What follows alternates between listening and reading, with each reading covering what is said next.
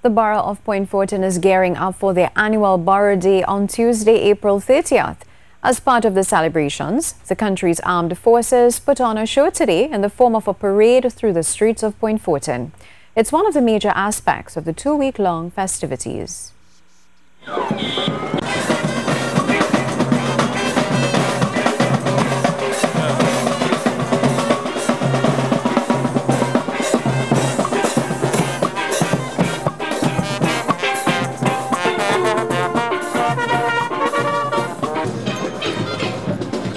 Military parade started at the Coronation Park and ended at Mahaica Oval.